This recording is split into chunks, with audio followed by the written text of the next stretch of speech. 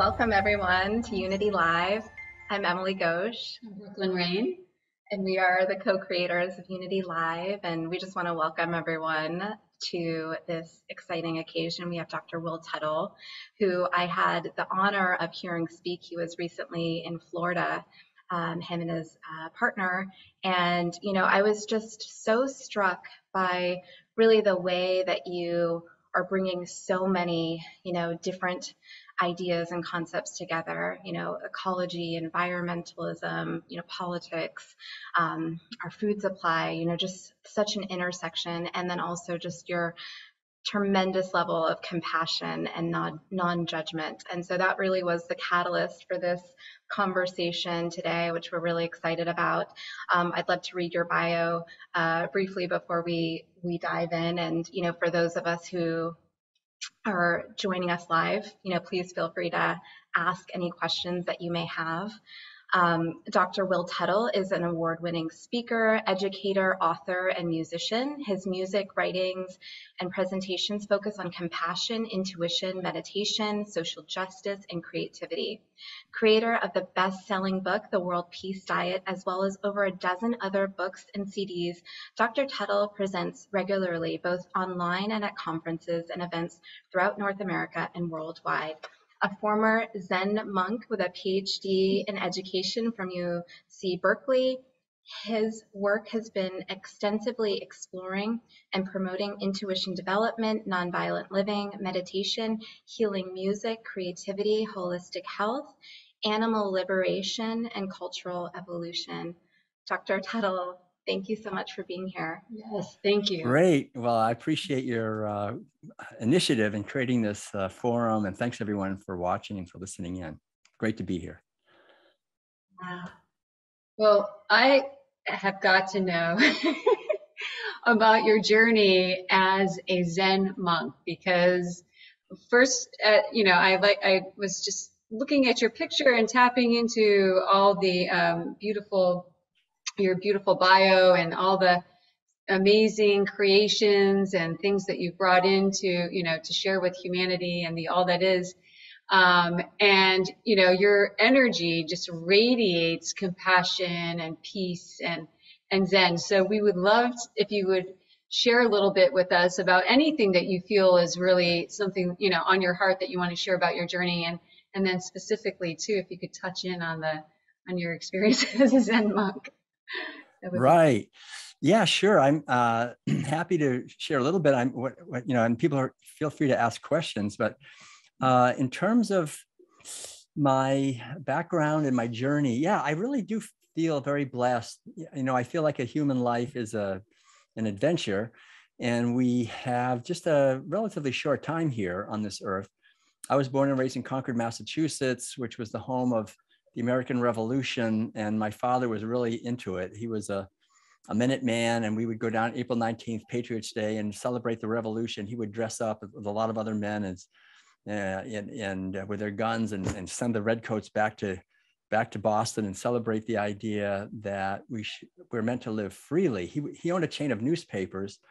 So I learned from him a few things. Number one, um, don't trust the media because I learned, you know, if you run a, a newspaper, for example, you can't really run news. It goes against the advertisers. And so I saw that from the inside, very interesting. And he was also going to be a doctor. So I learned uh, don't trust the medical profession too much. He, he always said that. And uh, so I pretty much have stayed away from trusting the media. I haven't had a television since uh, probably 50 years and haven't been to a doctor probably in about 50 years either. But um, but I right in in um, well as a young kid, you know, I was just sort of typical in a lot of ways. We ate a lot of meat, dairy, and eggs. Uh, but I I remember going away to a summer camp uh, in Vermont in the summers, and I would actually participate in the killing. I would do it myself, the chickens and dairy cow every year and I didn't like doing it, but I, I was indoctrinated uh, into the idea that we have to kill these animals to be healthy. When I went away to college, which was in the early 1970s in Maine, um, I really started exploring philosophy and started studying uh, meditation and Zen and yoga. It was during the Vietnam War era, and I you know the whole war machine and i started really questioning everything and that kind of led me to ramana maharshi uh, a sage from india who said you really should just find out who you are. That's the number one thing. Most people don't know. They we think that we're this physical body or this collection of events and, and memories and likes and dislikes and that we're a thing basically. And I remember really wanting to take a, a, um, a journey, a spiritual journey. And so right after college, um, to my delight, actually, my brother, my younger brother Ed, had a similar uh, feeling. He agreed. He said, "Let's let's let's let's attain cosmic consciousness. That's what we wanted to do." so that was in 1975. So I remember um, I talked to you know my parents about it, and my father, to his credit, even though I was really kind of born and raised to take over this whole newspaper chain that he had developed. He said, Every man must march to the beat of the drum that he hears. He quoted Thoreau and he gave us his blessing. And so we left. I remember walking down the driveway with my brother with uh, some fresh baked cookies from my mother, and we were going to walk all the way to California on a spiritual pilgrimage. That was our plan. And we walked for about a month and we got as far as Buffalo. And it was quite an adventure because we had no money and we had no out you know way of really taking care of ourselves but we we just were walking and meditating and asking this question of who am i and when we got to buffalo it was already getting really cold it was october so we just walked south all the way eventually to alabama to a zen center. And on the way we stayed in all kinds of different places. We had really quite a miraculous journey. We never went too hungry we managed to find food and work and trade and and we ended up for a while at a community in Tennessee when we got to Tennessee called The Farm, which was the largest hippie commune in the world back in 1975. And they were really following the teachings of Suzuki Roshi, who started the San Francisco Zen Center. So we, they would meditate together every morning. And they were all actually vegans, although no one knew the word vegan back then. They said, We're vegetarians, and they didn't eat any meat or dairy or eggs and they explained to me why, which was not to uh, to try to reduce world hunger, and also because of the cruelty to the animals. And so, I immediately agreed. I said, "Wow, you're right." And it was, but it was easy because there was 900 people living there, and they were all vegan, right? And they're all, I mean, they call themselves vegetarians. But I was just eating what they were eating, which was vegetables and grains and legumes and lots of soy stuff back then and so that was it. I've never eaten meat in my life since then. And eventually, we, well, my brother and I walked south from there to Huntsville, Alabama, because we heard about a Zen center there that we thought would be a, a good thing. Because we we wanted to just meditate, just sit, and so we would we got there and we were we were able to. They let us just meditate eight hours a day or ten hours a day every day. We just sat, you know, for I went for months just with not doing anything but meditating and it was really uh, an amazing experience to just go deep in meditation and start to get some glimpses of what these ancient sages from Asia have been saying, and from from the West, there's been a few too. Um, that what we are is not this body. What we are is eternal consciousness that is manifesting through a physical vehicle, and there's a tremendous sense of uh, liberation that, that comes from understanding that more than just intellectually, but actually realizing that and what the ramifications of that are that nothing from the outside world is ultimately going to liberate me or make me happy or give me satisfaction. It really comes from an internal, uh, complete transformation of, uh, of awareness. And so uh, I ended up moving from there to some meditation, other meditation centers in Atlanta, and then came to San Francisco, lived in a Tibetan Buddhist meditation center. And that was really intense. I did a lot of long retreats. I translated some texts. I was able to present one to the Dalai Lama when he came and visited and took the Bodhisattva vow from him, which was really, it was great actually. And met a lot of really high lamas and worked with them quite a bit. And then eventually felt, found my way back to Zen. And there was a Zen center in Oakland, California. So I was living there and and eventually uh, uh, another center down in Carmel, California. And I eventually went over to Korea. I decided to um, go there and shave my head and became a monk, a Zen Buddhist monk in a monastery in South Korea. That was in, in 1984. So I was in my, by then I was in my late 20s. So I pretty much spent most of my 20s just in these meditation centers, doing a lot of inner work. And, um, in, in South Korea, it was really great because it was a, a monastery that had a community right, uh, that had been practicing vegan living for about 800 years you know so i had this feeling of the ancient wisdom of compassion for all life if we're really serious about creating a society of peace and harmony and unity and freedom and and attaining some higher consciousness so when i came back to the states eventually i decided to uh, come back and go into the world again and i got my phd at berkeley and was able to get a PhD, which was really great on um, educating intuition in adults. And so that was the focus of my research. And I ended up teaching college in the San Francisco Bay Area for quite a few years, courses in philosophy and mythology and comparative religion and uh, and creativity and so forth. And then decided to just leave academia and and and and I met Madeline in Switzerland a little bit after that, but just basically traveled, lived on the road for about 20 years, traveling all over North America and putting on concerts of original piano music because I'm also a composer and a pianist. So I was coming out with a lot of CDs and people love the music, you know. So I was playing concerts and then doing workshops on intuition development and doing the Sunday morning service at at these churches and uh, like Unitarian churches and Unity churches. And uh, so that that's really, and then, so we lived in an RV for about 18 of those 20 years. I also lived in a 1971 Volkswagen bus for three years, which was quite an adventure. and uh, and now we have a house in Northern California where for the last about we're in our 10th year here, uh, making a garden. And um, and just kind of building a food forest and, and getting more self-sufficient in food and energy and so forth and still traveling as, as best we can to spread the message the good news really that uh, all of us human beings can thrive without causing suffering to, to other living beings. And uh, to try to help people realize that we've all been wounded by living in this society and the whole animal agriculture uh, way of, of living, which kind of separates us from our wisdom and puts us as outsiders and, and, afraid, really, of animals, of nature, of each other, to kind of get over the fear and realize we live in a beautiful, beautiful world and we can thrive and celebrate our lives here without causing suffering to other beings. So that's basically been it. I've had a lot of fantastic teachers. I'm very blessed. I, I feel so blessed in this lifetime to have met so many beautiful people and to be able to just give a little bit back from all I've been given really is a great honor. So thank you for uh, for hosting this. Yeah.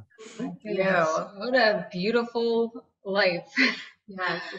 Yeah. yeah. I, I feel very grateful. Yeah, it's true. I think it was one of the best things was just going through the sort of dark night when I was in college of realizing that if I just if I just go into the usual thing that everybody does and take over a business or work in a corporation, I'm going to emerge when I'm in my 60s and I'll like, what happened? You know, I, I just, I just felt like it's so easy to get lost. The society tries to uh, suck our energy and our creativity and our whatever out of us and use us. and so I just left. I, my brother and I both realized we got to, we got to, we can't let let that happen, you know. And so it was, you know, we did a lot of things that were uh, took, uh, I guess you could say, took courage. I mean, just to, to go into the world without any money and just, you know, we did we lived by dumpster diving and you know whatever we could do to get food. But we were just we just focused. We thought the most important thing is to meditate and just wake up, and, and that's all that matters. And and uh, but then I found, you know, like I remember we were, um, we, we would come into a little town, like we came into this little town in Kentucky somewhere in, in the very, very poor people. I mean, they were, the houses, some of the houses didn't even have a floor. They were just dirt. And, um, and, and they, we would uh, go and they, we would stay a lot of times in the church, we'd sleep on the floor of the church or, or something. We, we worked a lot through these little churches because they would give us a little food and we would, you know, we would help them paint the church or whatever and we would then we'd go on the next day. We just always traveled the next day, and we didn't want to hang around anywhere too long. But um, they they just they they gave us uh, they took up a collection and they and and they had us give a, a talk to the Sunday school, you know, and we said to the Sunday school kids, yeah, it's true, you know what Jesus said. Seek ye first the kingdom of heaven, and everything else will be added unto you. You know, just just mm-hmm. focus on the most important thing. Focus on your your your mind and your heart and creating loving relationships and understand that you're not just a thing you're a spiritual beautiful being and so they, they gave us $30 you know which was like back in 1975 that was quite a lot of money i remember uh, we, we, walked into this little um, cafe on the way out of town and, and, ordered lunch and it was for two people it was like maybe uh, you know $14 or something and and I remember uh, we gave the, the waitress the, the thirty dollars. You know, we gave her a, a, big tip, and and we didn't because we thought you know we don't want to hang on to anything. You know, every day takes care of itself, and and and, and I found that we if, you, if we li- you know live by that, uh, in many ways it really does work. It's like the idea is to not succumb to the victim mentality of fear that if I oh, if I don't do this, then I won't have enough. And, you know, but instead to just focus on what's most important on giving and understanding and improving ourselves. And the universe will back it up, you know, as long as we're authentic and really uh, doing our best. I think uh, it's amazing how the, the doors open. You know, we'd have a little miracles happening all the time. The only time we were really hungry, we hadn't eaten for like a day and a half or something. We were walking along this road and there were like these two sandwiches wrapped up in plastic by the side of the road. we weren't even that surprised, like, oh, okay, here it is, you know. It was like one of those, it's like thing, it's just, it's just really amazing how how if we go in the direction of our dreams thoreau said it i remember reading walden when i was in uh, college and, and i thought gosh i was i learned to swim in walden pond you know i lived in concord.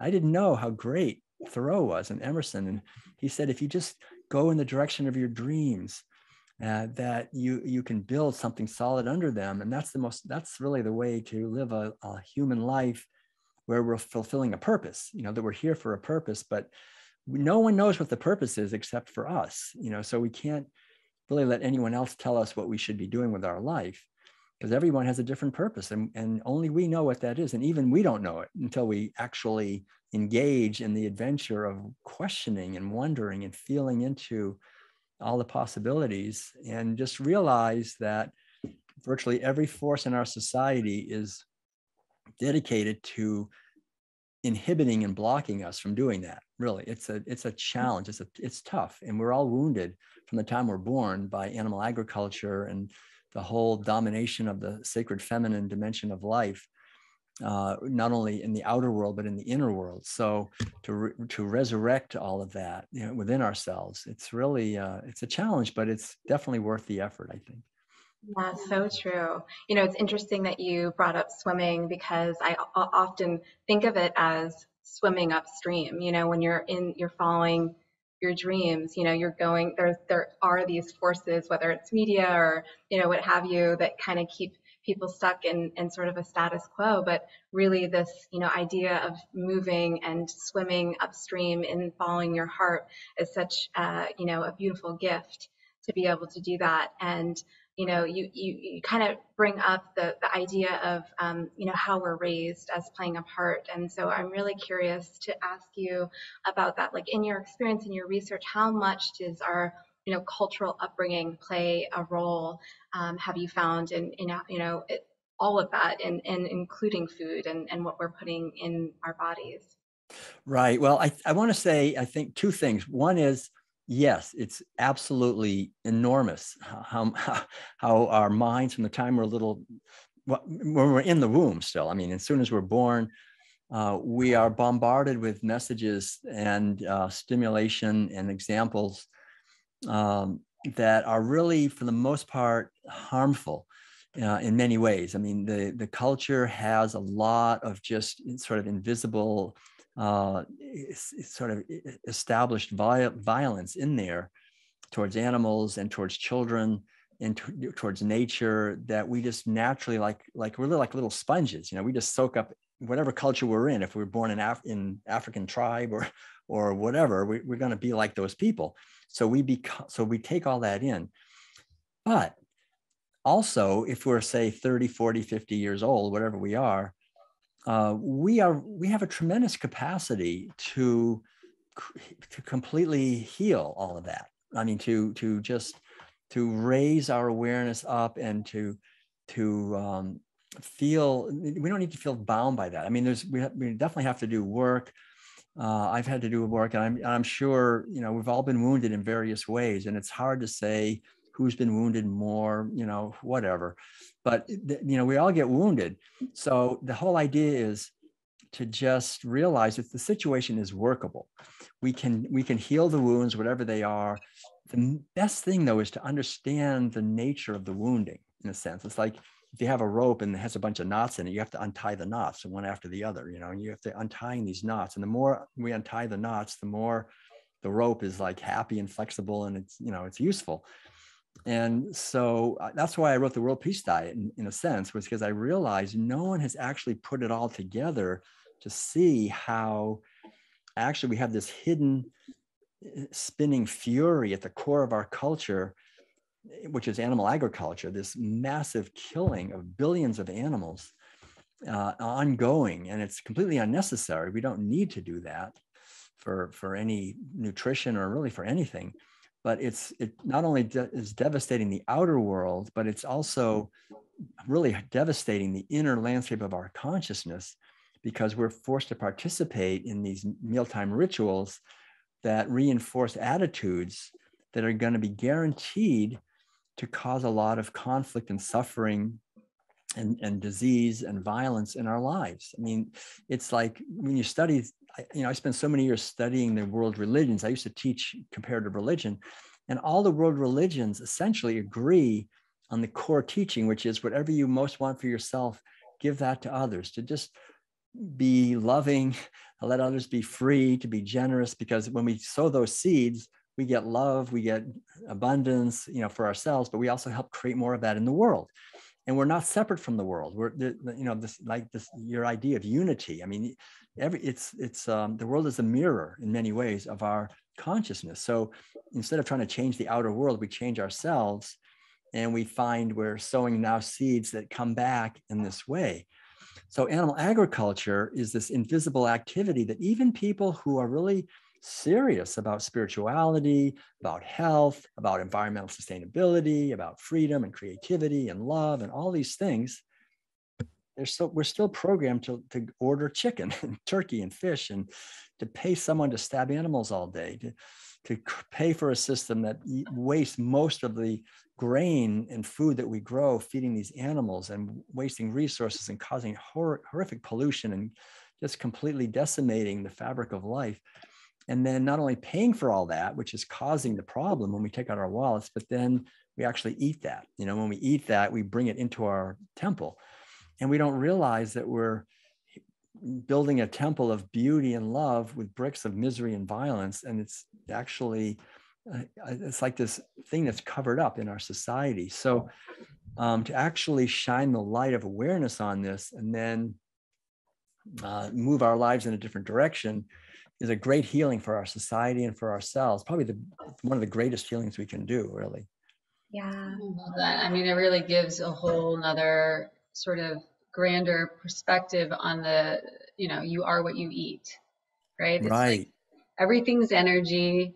We're energy. We're frequencies. Those frequencies, you know, of trauma, etc., that have been experienced by those those animals are then passed on and brought in, you know, into our into our cellular water into our DNA. So, yeah.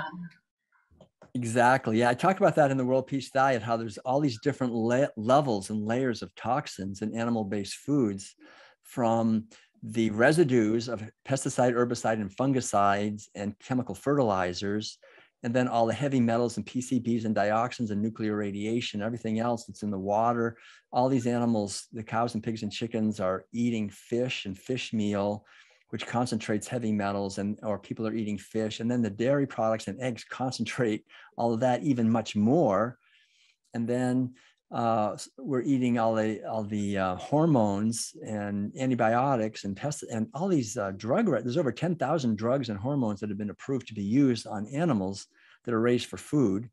So we're getting all these drug residues and then the naturally occurring toxins in meat, dairy products, and eggs, like IGF 1 growth hormone and casein. And even if it's somehow perfectly immaculate flesh and milk, which it never is, it would still be toxic, really. I mean, it's got, it's not, we're not designed for that, all that saturated fat and cholesterol and acidifying and inflammatory animal proteins and so forth. But then on top of that, then you have the misery and terror and fear and pain and despair of the, that these beings are experiencing and actually not only contributing to that, but eating that, the, the reality of that. And I think to, to say that that's not a reality betrays the, the essential orientation of our society, which is materialism. We think that if you can't measure it in some kind of scientific instrument, then it doesn't exist. Mm-hmm. And this materialism is a direct result of animal agriculture for 10,000 years. If you, if you do animal agriculture for 10,000 years and you practice seeing beings as things, reducing beings to commodities, pretty soon the whole world is a commodity and we ourselves are commodities and everything is just matter. And you buy and sell beings by the pound.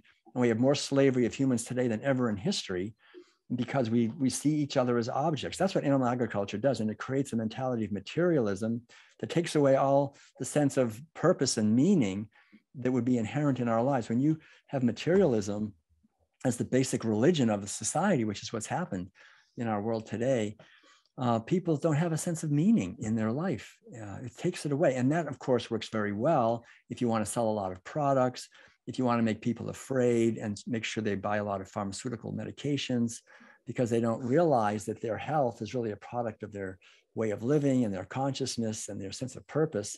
You take all that away, and then you have huge money going into what I call the military industrial meat medical pharmaceutical media banking complex.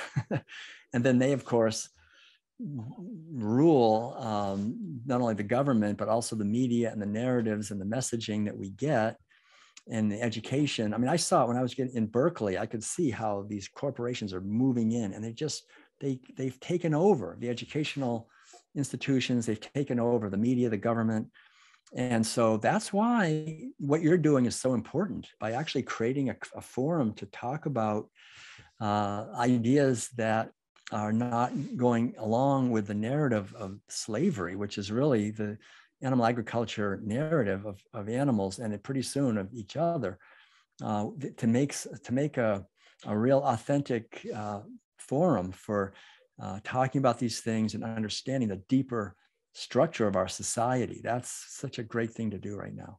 So thank you for doing that. Oh, thank you. I think that it is so important to create a safe space to talk about, you know, issues like this and, and with, you know, compassion and non-judgment. And I'll just share, like, you know, for me personally, I, I wasn't vegan my whole life. And, you right. know, I think that, you know, there was a, a sense of disconnection, which you hit on because when there is connection, you can feel the energy and the emotions. And, um, you know, this just came up in something that you were teaching recently is just how uh, personal a topic food can be regardless, you know, regardless, there's so much emotion that can be tied right. to, to food. And so like, just curious, and you know, you are such a compassionate being. Um, you know, what, what have you found in terms of like creating a dialogue and a conversation that's, that's helpful um, in creating awareness, but not, you know, creating a sense of isolation? Right. That's a great question. You know, the thing is, when we usually when we go vegan, we think we've and we and we get into it we think wow this is so great i want to, i want to change everybody everybody who's not vegan i want them to go vegan because they're killing animals it's destroying the world. I mean it's they'd be healthier they'd be happier. So we want to change other people because and make them more like us. And in a way that's really it comes from a from a good place inside of us i think basically but it's also in many ways a recipe for disaster. Because uh, you know if someone came up to me and looked at me and and like, well, you know, I'm I'm going to change you and make you more like I am. You know, my, the, a natural healthy response to that is to you know put up your dukes and fight back. You know, I mean, you know, we don't we don't want to have someone coming up and trying to change us. And so, I think the most important thing is to work on changing ourselves as as best we can so that what we are um, becomes a vehicle of what veganism is which is loving kindness and respect for other living beings. So even the even the thought of wanting to change someone, there's a certain little seed of violence in that thought of like I'm I'm gonna I'm going to influence them and move them and change them in the way I think they would be better. And we don't know if we're totally wise. Like there's there's the old saying in Buddhism of the the very compassionate monkey who looked down and saw the fish drowning in the water and brought him up to the safety of the tree you know and that idea you know we we may really think we're helping but the thing is you know the more we can just understand what veganism actually is that's one of the reasons i wrote the world peace diet was to give the big picture of the history and the sociology and the anthropology and the, the, the governmental educational nutritional you know all these different dimensions because the more we really see the bigger picture then we can actually understand that we've also been wounded by this. Even if we're vegan, that doesn't mean we're suddenly perfect, you know. And I think that's one of the problems. We think, well, I'm per- I'm vegan now.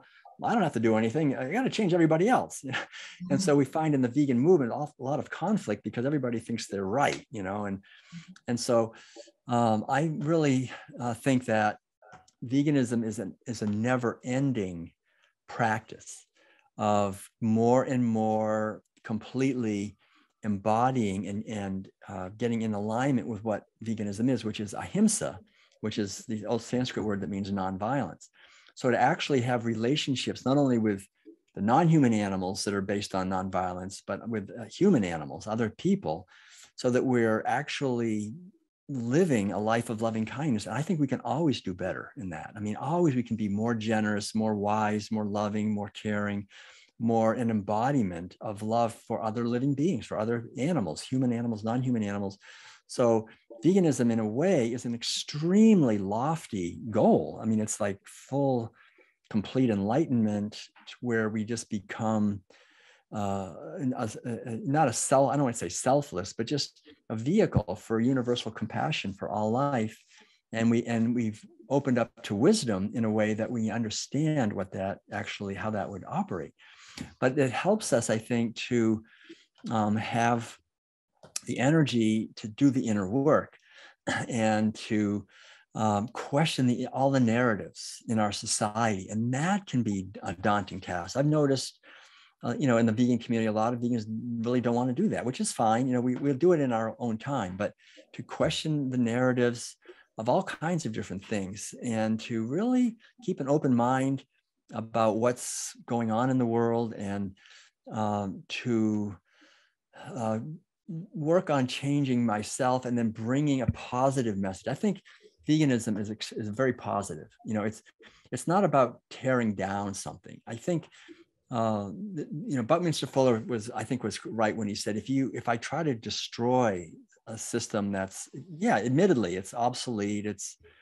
uh, violent it's it's ridiculous animal agriculture, but but if I'm going to attack it and fight it, uh, in many ways I become like it. You know, I, I take on those qualities, and so that's one of the things I love about veganism. It's not merely attacking and, and condemning a horrible system of violence towards animals and hungry people and slaughterhouse workers and indigenous people and wildlife. I mean, it is all those things, but it's actually a beautiful creating of another way of living based on beautiful, delicious vegetables and fruits and nuts and grains and seeds and growing them organically and veganically in harmony. How do we do that? And how do we create communities uh, that are decentralized, uh, that are based on compassion and kindness and educate our children to love and honor and respect animals and nature and each other and create beautiful arts and crafts and and build a world that reflects our, our true potential you know it's like this beautiful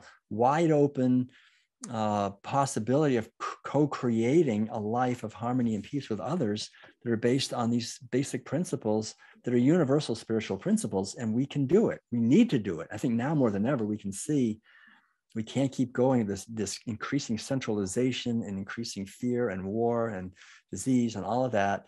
It's really that's what animal agriculture it's almost like in the death it's death throes. I mean it's it's like bringing us right to the brink.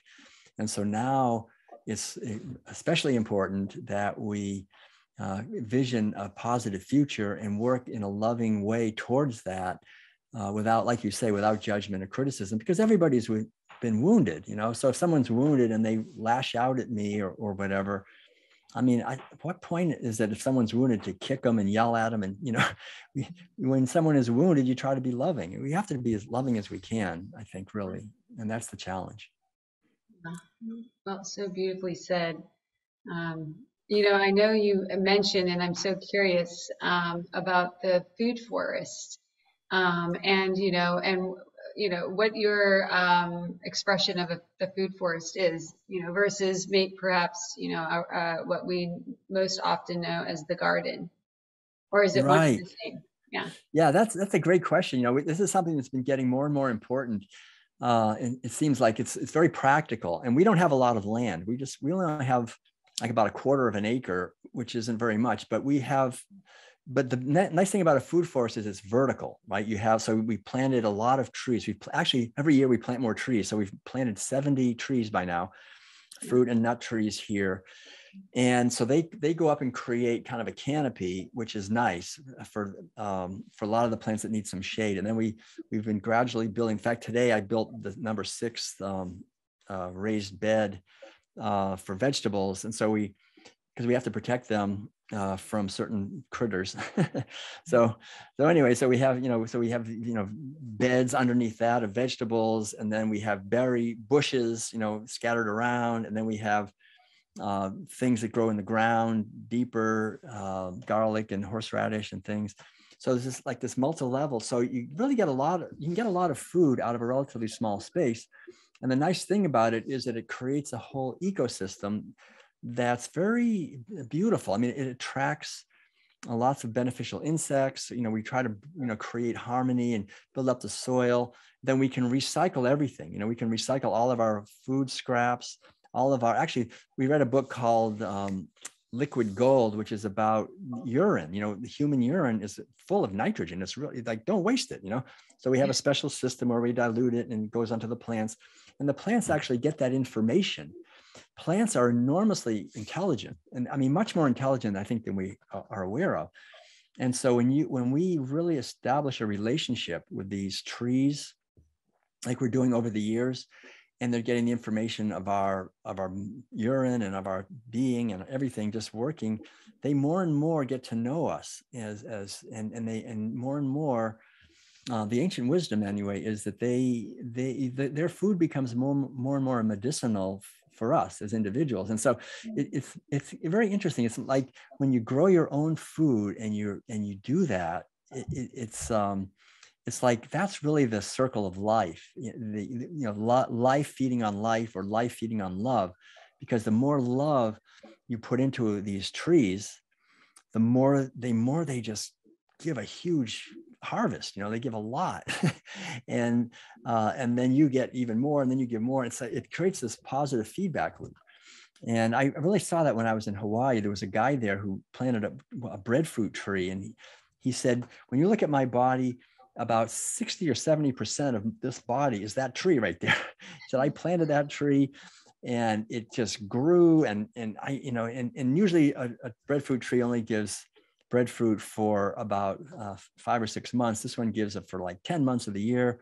And I can bake it and, and steam it and all this stuff. And so he said, every day I'm eating breadfruit. And the more the more I eat, the more I get. And so I think that that's the feminine wisdom, the, the way of of giving and planting and nurturing seeds and then working in harmony with the natural abundance of the earth and of the seasons and the sun and the moon and the rain and the wind and the stars. It's this idea that we live in a ab- naturally abundant universe. If we plant seeds and tend them with love, we can create a garden, which is a space of love and healing, and it will tailor itself to us.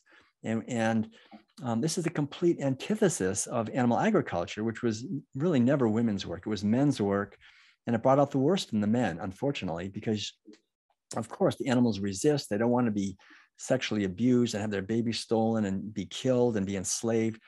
And so you have to just do this violence. And so now we're in a society which is based on animal agriculture. And so we're all basically eating food, even if it's vegan food, plant based food, very often it's raised in animal agriculture ways, right? They use, they monocrop grains you know and, and um, a lot for animals but even for for humans you know and they use pesticide and herbicide and fungicides they use all this stuff so that's why i think it's so great to try to support farmers who are working more in harmony with nature that are organic veganic if possible. Like we don't use any bone meal or blood meal or manure or anything that would harm the animals. Or we really do our best not to kill any insects.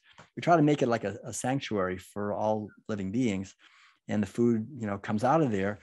And I think um, we can support local farmers at farmers markets, get to know them. We do that. We have a farmers market here, so we sometimes we sell our food, but usually we're buying from other people.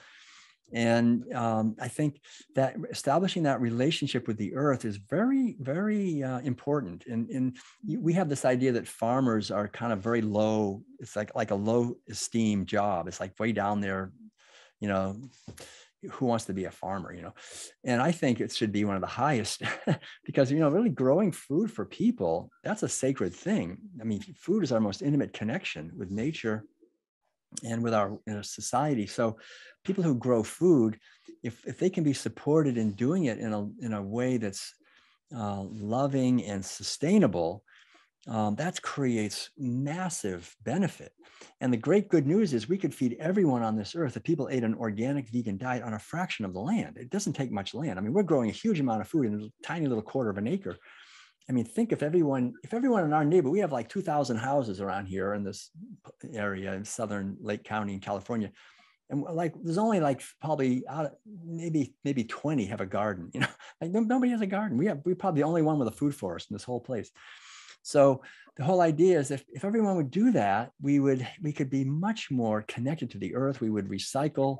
We we could teach our children uh, these things, and I think veganism would thrive naturally. I think kids would would get begin to respect uh, vegetables and fruits and nuts and grains and seeds and see how potatoes and sweet potatoes and how you can grow them and eat them and trade for them with the other people and uh, be, become more decentralized and more self-sufficient become, becoming self-sufficient um, for food is a great uh, freedom and a great power that I think is going to be more and more important as the years go by here. And uh, if you want to have quality food, so uh, this is a big thing. I think it's really uh, one of the newest things. And Madeline, my wife Madeline, is um, she's a she loves to garden, and she has a lot of experience from when she was in Switzerland. And she studied with some great people there, and we've learned a lot from when we lived in our RV. We traveled. We, that's one of the great things living in an RV because we just traveled all over the United States. We met amazing food forest people, like some up in Canada, some in Oregon, uh, some in Florida, different places. And we just learned, you know, and then finally we got our own piece of land. Now we can do it ourselves, you know. So we can learn from each other. And I think that's why we're on this earth is to learn from each other, to learn, really learn from each other. Absolutely agree. And I think it's that hands-on connection that is so important. You know, right. Right. And, yeah. Um, I, I'd love to go back to something that you said, which is about the embodiment of, of being vegan, which I thought was really beautiful. And, you know, because uh, it, it's true, like you can be vegan and, you know, not necessarily healthy. So there is, you know, this, this endless continuum of, of health. And so I'd love to ask you just about some practical, you know, um, tools that, that you in, integrate into your daily lifestyle for health and um, and also, you know, one other question that I have is about, you know, say somebody is not vegan um, but wants to make some, you know, changes in their in their diet and their lifestyle. Would you recommend, you know, jumping into being vegan or kind of making gradual changes? What would be your recommendation there? Right. Yeah, that's true. You know, get learning how to be a healthy vegan. Uh, it's a, definitely a learning curve, and and there's um, you know, I've been a vegan since, since 1980, so that's 42 years now, and I have to say, it's I'm still learning. You know, it's it's fantastic. But but uh, uh, the main thing is organic is really important. I think nowadays because glyphosate is on everything. So gly- glyphosate is a broad spectrum antibiotic, and it's not only destroying the the the um, the, the basic uh, um, microorganisms in the soil, but also in our own body. Uh, the microflora. So uh, organic is really important because without that, you're getting some glyphosate it, and, and, it's also carcinogenic. I mean, it does all kinds of terrible things. So organic and as much as possible, whole foods that are not uh, processed with, with, um, with artificial flavors and preservatives. And so reading labels, I think is important. So as much as possible to transition you know, I know it's nice to eat some vegan uh, ice cream and vegan hot dogs and vegan fish sticks or whatever, but be careful because those foods come out of factories. And I think factory foods that come out of factories, we try to minimize that now. I mean, but you know, we've been doing it a long time, so we've had time to, you know, adjust. So, but but that but to understand that you, the more you move away from factory foods, and um, and buy vegetables, and, you know, or or you know, or grow them yourself, and fruits and nuts and seeds and, and grains and potatoes, sweet potatoes. You know, it's important to get enough calories. A lot of people go vegan and they think that they just have to get protein. You know, they don't have to worry about. So they're so they're afraid to eat calories. Uh, I mean, and to eat carbohydrates. And uh, carbohydrates, if they're complex carbohydrates like potatoes and sweet potatoes and whole grains, uh, they're great. I mean, that's the fuel that our body runs on. So we we are, we're we eat about 50, maybe 50 to 70 percent raw. I would say. Uh, I think it's good to have quite a bit of you know raw or or fresh foods but but plenty but but you can have you know like our our supper is usually more uh, potatoes or sweet potatoes or new pasta or uh, corn or you know rice or quinoa or millet or kasha or something like that um, because there's a lot of energy in grains you get a lot of energy you get and really if you don't put a lot of oil and fat on it you're not going to gain weight i mean I, it, it's really um, it's easily it's easily metabolized. So just understanding some of those basic things, uh, I think is helpful. And, and, don't worry too much about getting enough protein. You're going to get enough protein. The, the hospitals are filled with people that are there because of getting too much protein, which is really makes acidifies our tissues. Yeah. So uh, so the thing I think with nutrition is to understand the basics that it's not that complicated if we eat whole organic foods, whole organic foods, uh, mostly in, a, in their natural state. Um, we're going to be getting healthy. But the thing is, we, we may start cleaning out. And so you may feel worse. You may get sick. Sickness is not sickness. Sickness is good. It's cleansing. you have a, have a new word. Usually, when people get a rash or sore throat or runny nose and all these things, headaches, uh, it's because their body's cleansing. And so instead of stopping that and say, "Oh, I got to go back to eating meat because I'm not feeling well," no, let let it go through. Let yourself go through that process of cleansing, because fruits and vegetables are natural cleansers. So they're gonna you're gonna clean out a lot of old heavy metals, dioxin, all kinds of pesticides, whatever, will come out, and let it go. And so um, let yourself cleanse, but then also realize it's not just what you're eating, it's how you're eating. So, as much as possible, really take time to to prepare the food with love uh, and appreciation and eat it mindfully. We try to really, when we're having meals, we don't ever watch television or do something. We, we don't talk about conflicted things. We really try to have pleasant conversation, enjoy the food, enjoy each other, really have a have it be a celebration. You know, eat, eating food with with mindfulness and, and like the in the old days, people would really the end of the day they have a meal and they really share and be and have a sense of gratitude that really makes it i think much more nourishing for us and so it's not just what but also how and then also see that food is not just the food we're eating physically it's also everything we take in so I, we, we notice a lot of people are putting on all kinds of stuff on their skin, like creams and shampoo and sunscreen, full of chemicals, toxic chemicals, toothpaste. I mean, so much stuff just really be aware that that stuff is toxic. There's so many talk avenues for toxins to get in. So be be aware of your personal care products. Be aware of the, what you're using to clean your house with. A lot of these things are talking. What you're doing your laundry with. I mean, we see so many people that are very conscious with their food, and they have all this other stuff that's like really not good.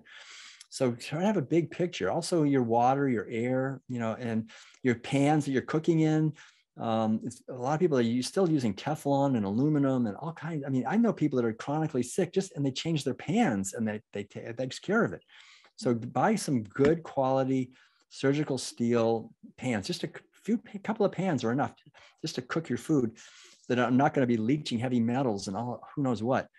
Uh, all these things are are important to understand, and then realize that uh, what else, the other way we eat is through our emotions and our relationships I think a lot of people are unhealthy because they're in somewhat toxic relationships or they're frustrated or angry, or they still haven't processed their anger toward their parents or whatever.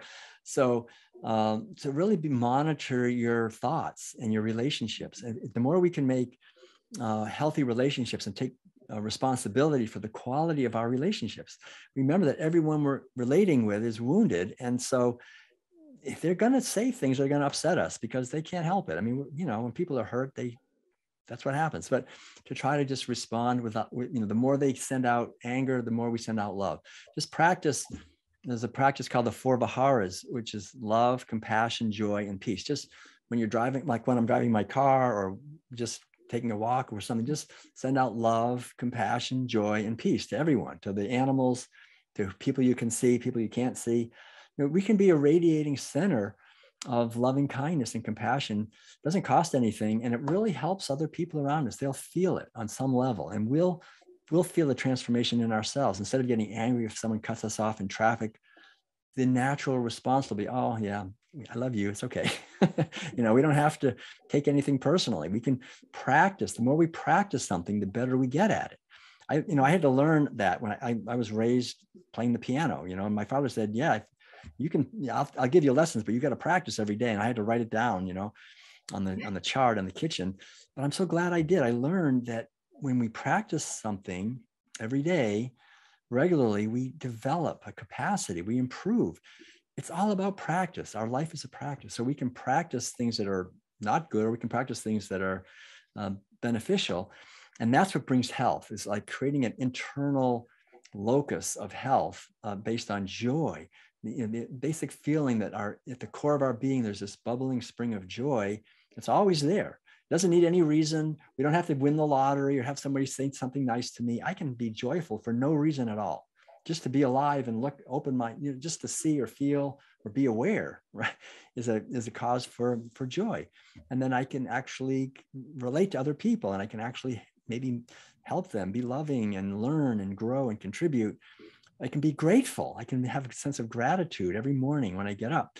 This is what really creates health it's the, every cell in our being is fed by that because we have a feeling that we have a purpose a unique purpose and it has to do with our consciousness.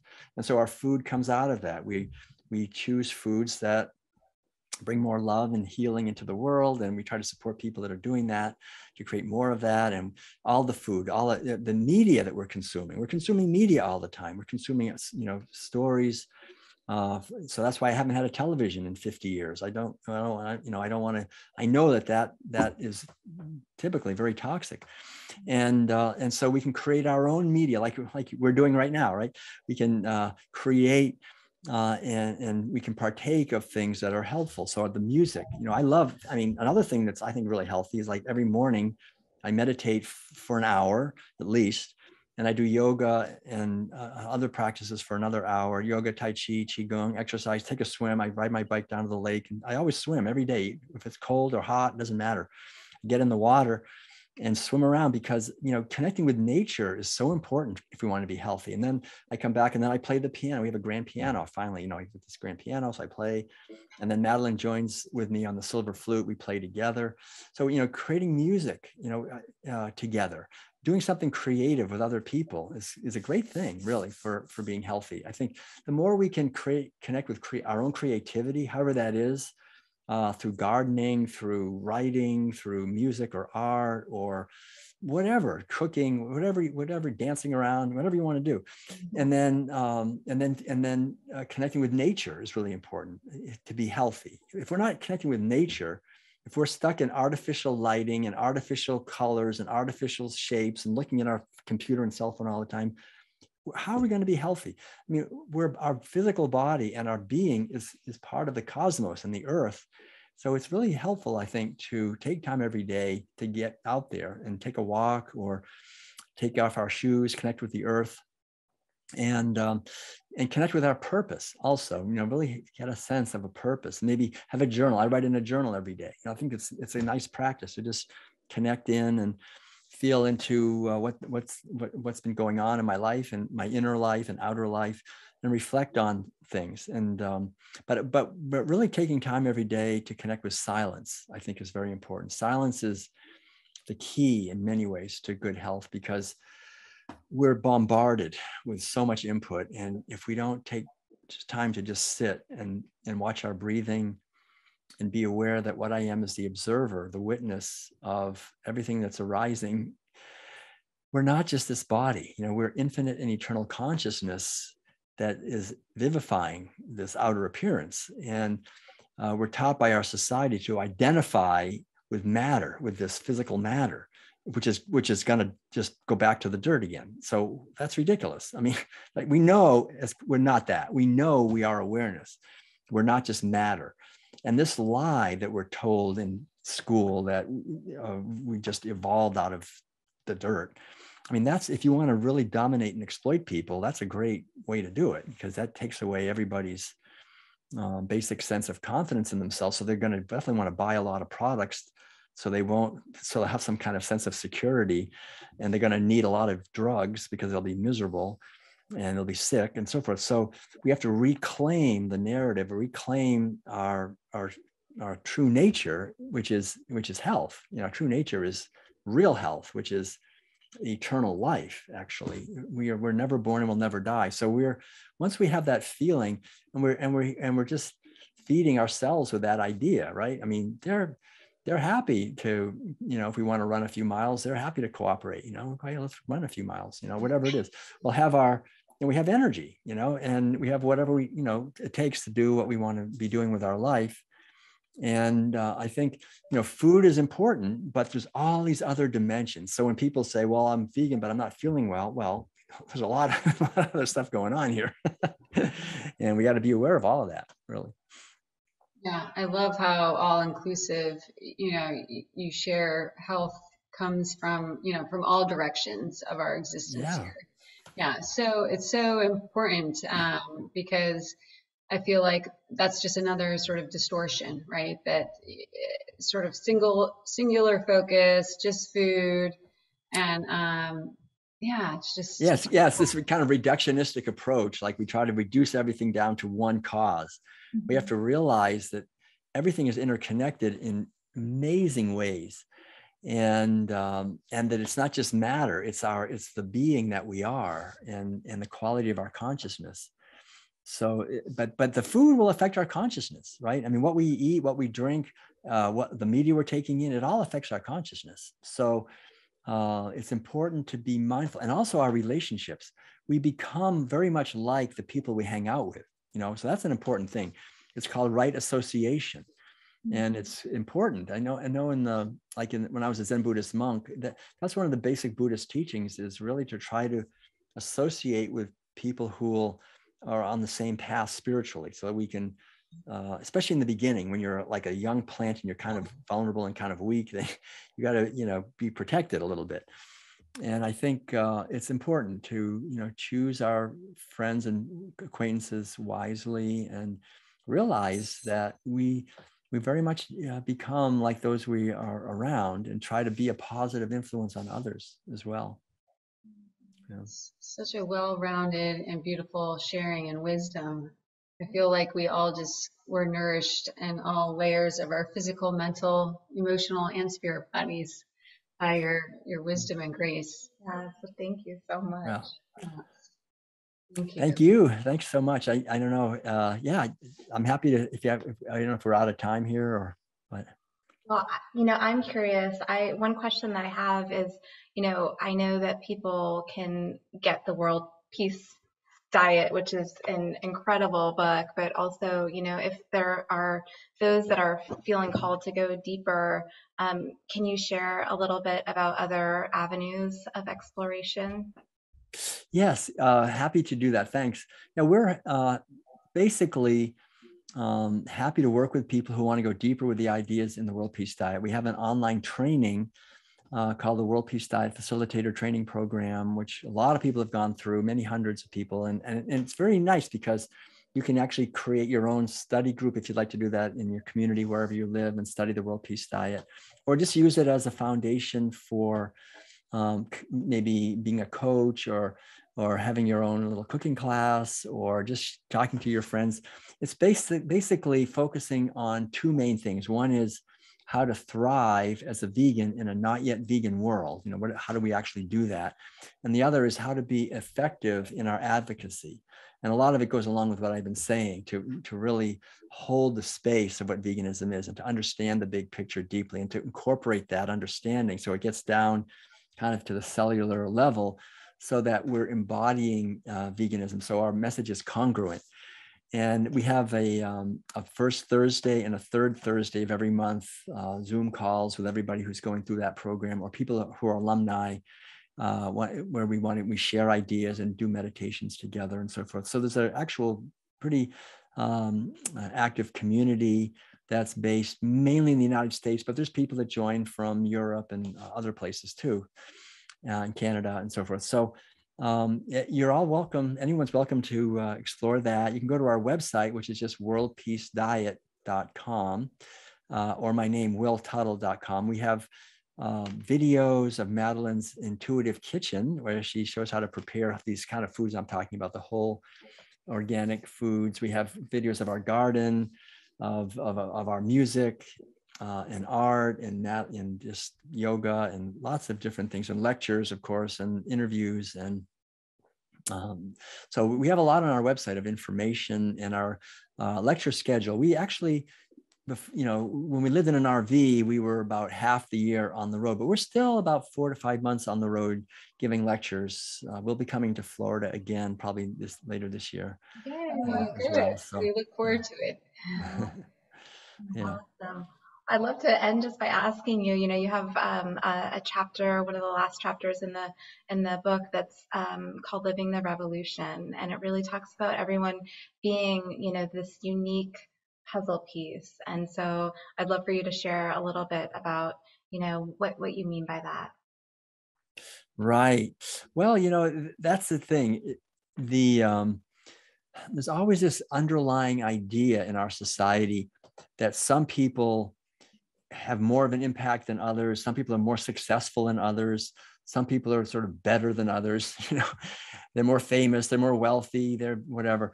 And I think um, it's so important for us to kind of do the best we can to let go of this comparison with others and tune into our life, our unique um, gifts that we, uh, talents and abilities and and our yearnings, really, what we feel drawn to contribute and just know that that is as precious as anything. I mean, you can't say that Gandhi or Mother Teresa, or whoever you want to say, you know, did more than you did.